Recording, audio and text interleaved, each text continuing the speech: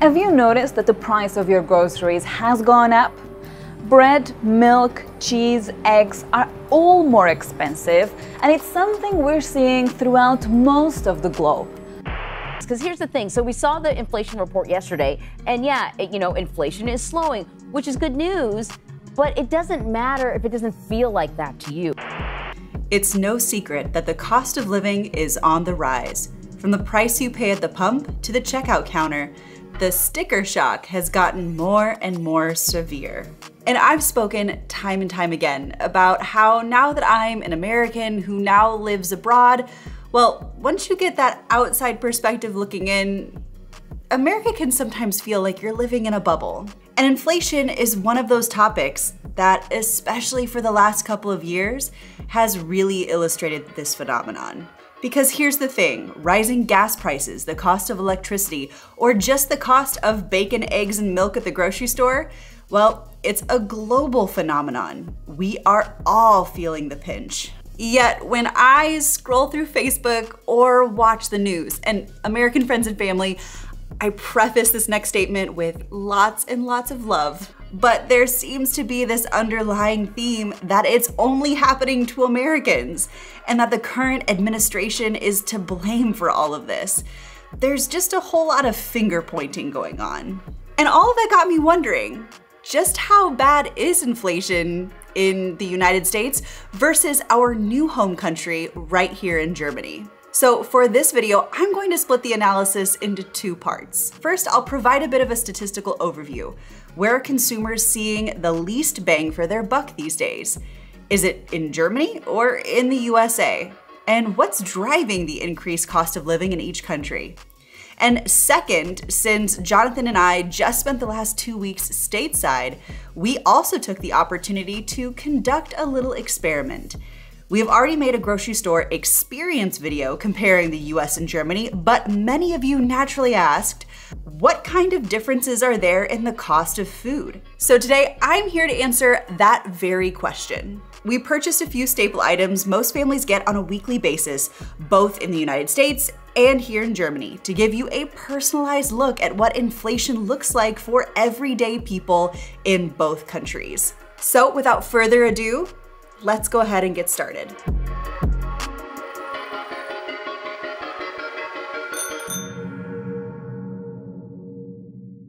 Now, while inflation certainly hurts us right here in the here and now, the reality of it is that the economic mechanisms that put this turmoil into place, well, they're global and they started quite a while ago. Global inflation was generally moderating when the pandemic began, and the downward trend continue into the early months of the crisis. But surging prices since late 2020 have pushed inflation steadily higher. The average global cost of living has risen more in the 18 months since the start of 2021 than it did during the preceding five years combined. And this chart from the International Monetary Fund shows that food and energy are the main drivers of this inflation. Since the start of last year, the average contributions just from food exceed the overall average rate of inflation during 2016 through 2020. In other words, food inflation alone has eroded global living standards at the same rate as overall inflation of all consumption did in the five years immediately before the pandemic. And a similar story holds for energy costs, which show up both directly and indirectly through higher transportation costs. And that's not to say that the prices of other things aren't increasing too.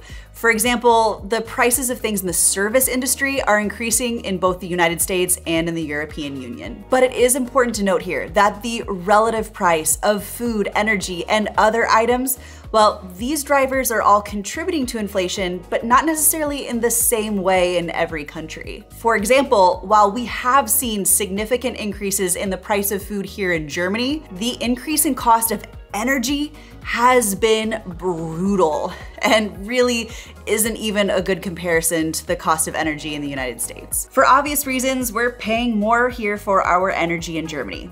A lot more. In fact, we just moved into our new house this summer and had to start up with a new energy provider.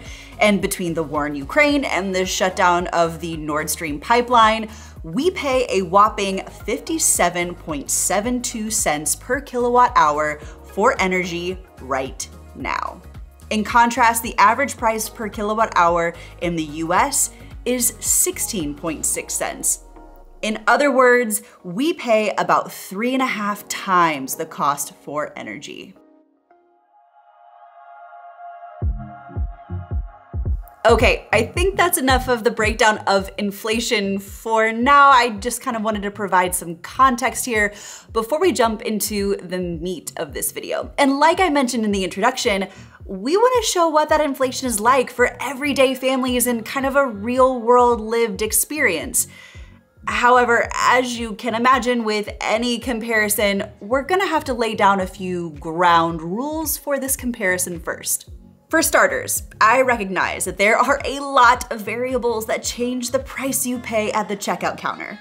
For example, in the United States, sales tax is variable depending on where you live. But you'll also see big differences in price from one grocery store to another and price differences between brands. And I know I couldn't possibly account for all of those differences, but I do think this is really an important exercise to conduct because it at least gives just a snapshot into what the cost of living, specifically the cost of groceries, are like for Americans and Germans. So here's the rules that I set out for myself before I even went inside the grocery store.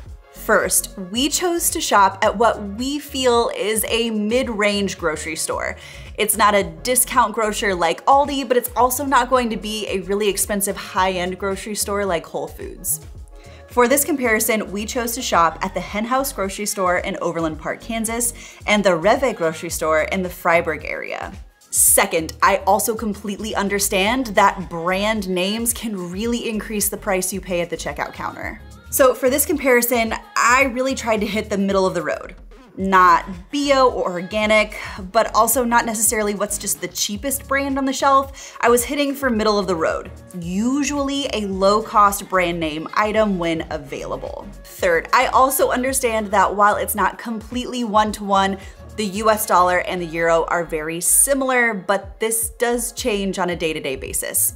So for this comparison, I used a conversion rate at the date of recording, which is Tuesday, December 6th.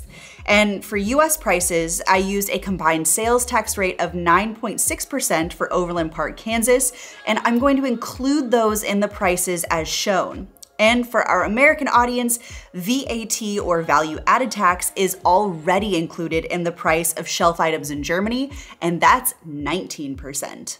Also, last but not least, there is also going to be naturally some differences in the scale of the items and the quantity of the items sold between the US and Germany because the USA decided to be one of those countries that wanted just to be a little bit more difficult and not adhere to the metric system. So on your screen during this video, I'm not only going to show the shelf price, but I will also do my best to show the unit price and when possible, convert to a common denominator or to the EU metric equivalent when possible. Okay, whew, that was a lot. so enough of the jabber, let's get down to this comparison. All right, first up, the cost of a loaf of bread. In Germany, one loaf of whole wheat bread costs one euro and 69 cents. Also, two quick important things. Uh, one, yes, I know that this is sort of doing a disservice to the beautiful bakery bread, but we don't have that as readily available in the United States. So I went with the shelf option because, well, I'm trying to compare apples to apples, or in this case, loaf to loaf.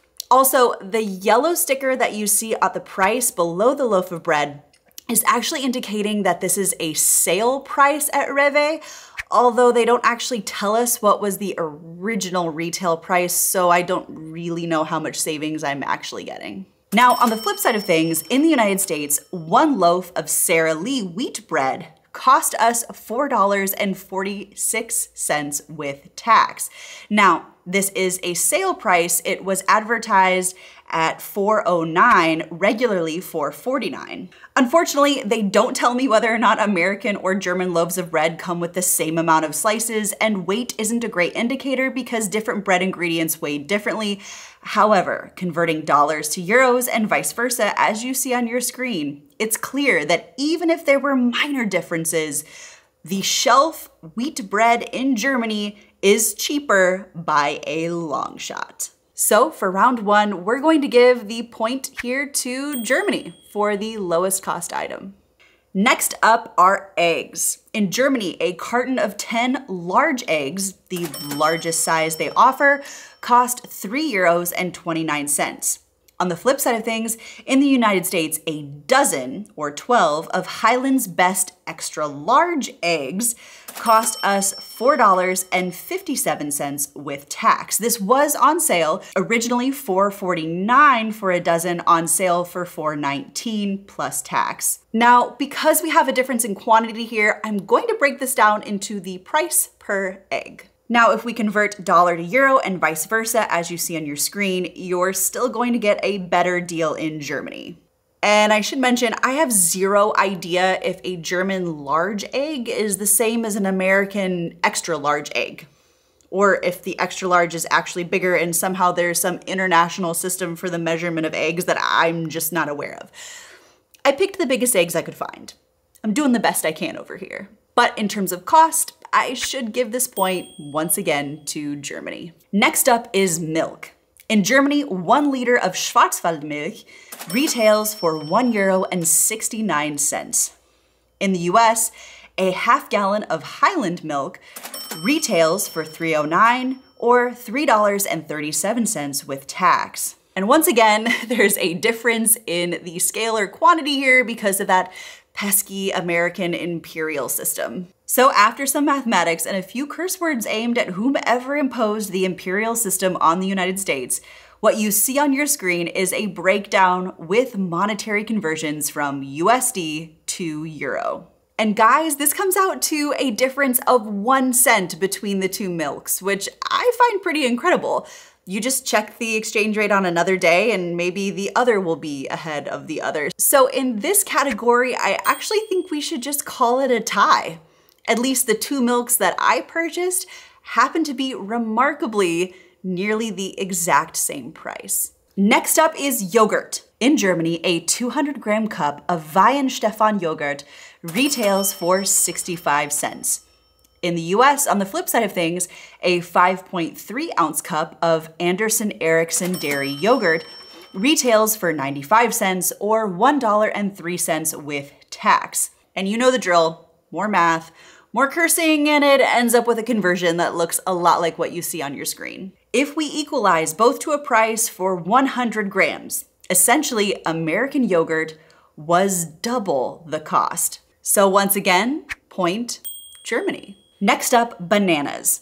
In Germany, we purchased four bananas, or 0.686 kilograms worth, for one euro and nine cents. For reference, bananas were being sold at our store for one euro and 59 cents per kilogram. In the US, four bananas as well, or 1.58 pounds to be exact, cost us $1.17 with tax.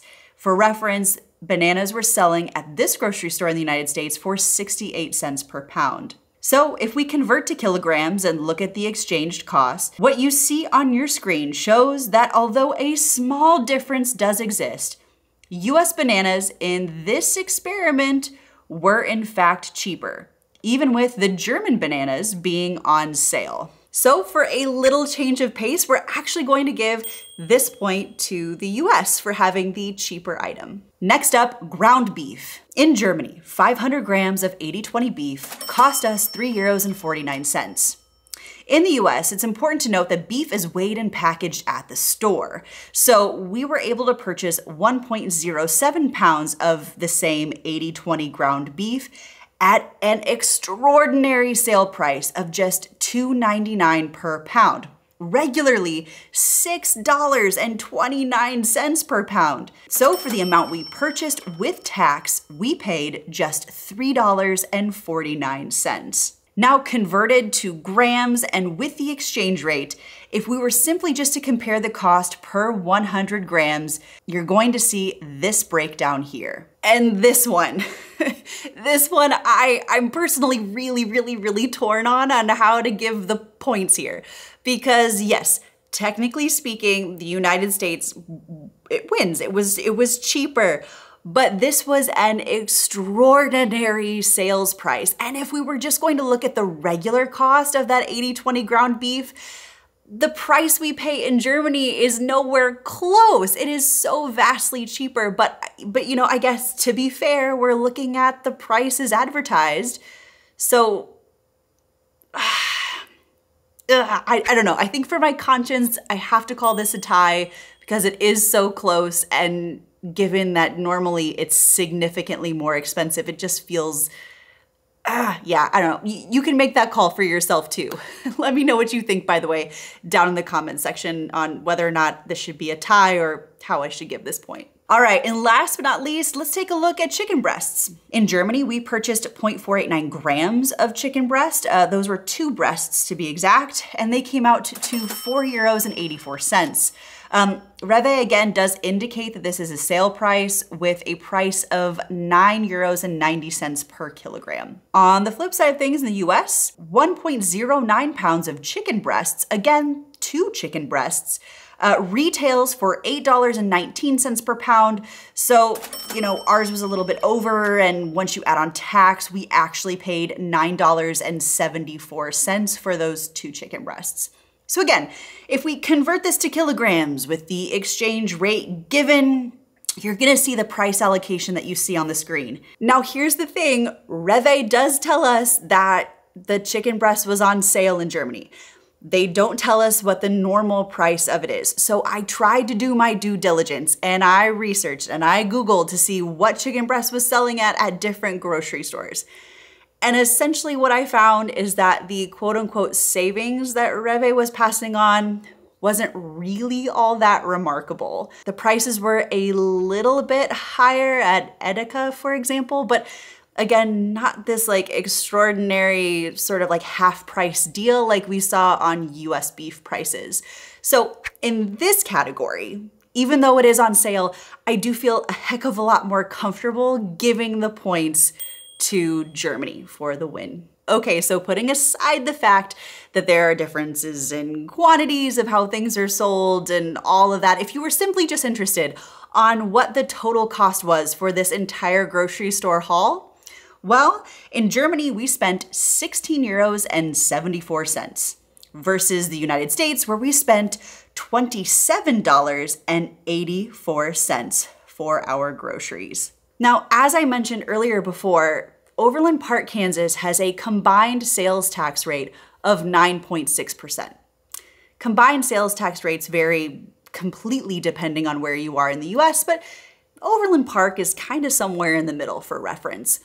But you know, on the flip side of things, all of the items that we purchased here in Germany are subject to value added tax of 19%, more than double the tax that we paid on those items in the United States.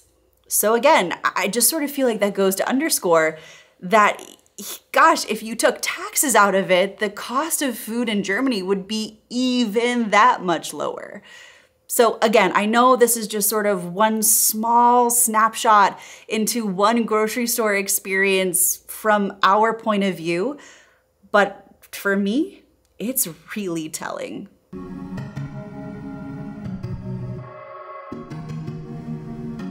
Okay guys, so here's the thing. While Jonathan and I were in the US, we shopped in Missouri, Illinois, Texas, and Kansas. And 1000%, whether we were shopping at a grocery store or at Target, I felt like every time we left the store, Jonathan and I would look at each other and be like, how in the heck did that cost $200? It was like there was a $200 minimum no matter where we went. Everything was $200. It was it was kind of crazy. And that really is sort of what led us to want to make this video in the first place. We just couldn't believe the cost of groceries and it really just sort of like had us in this position of wondering, wait, how much are we paying in Germany and is it is it a better deal? Like I feel like when I first came to Germany, I once thought that groceries were actually more expensive here. But I guess after this experiment, it, it really kind of threw me through a loop. And it is actually especially interesting when I came back and started to look at more research because at least our experience doesn't necessarily match up with what the nationally reported data is telling us. According to Destatis, the cost of food in Germany has increased 20.3% in October of 22 over the same month in the previous year. In contrast, the cost of food in the United States increased at a slower rate of 10.9% over a year ago in October of 2021 easing further from 11.2% rise in the previous month. So either German groceries are just all the more affordable, even including the increase in inflation, or we just need to do more shopping and do more comparisons to really look at the prices, because yeah, yeah, it was, it was pretty shocking for us. But you know, that actually leads me to the final question that I would like to ask you down in the comment section below based on what you saw today from our shopping experiences, are the groceries that you buy in your hometown more expensive? Less expensive? I mean, how does it sort of compare to what we saw?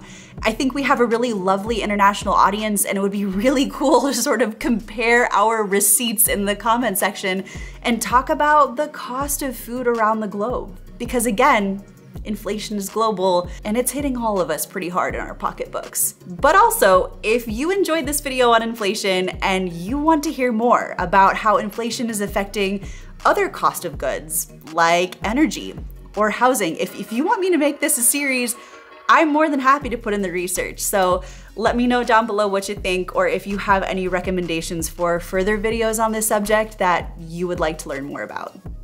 And as always, if you enjoyed today's video, be sure to hit that thumbs up button. And for more content from the Black Forest family, hit that subscribe button. So, until next time, cheers!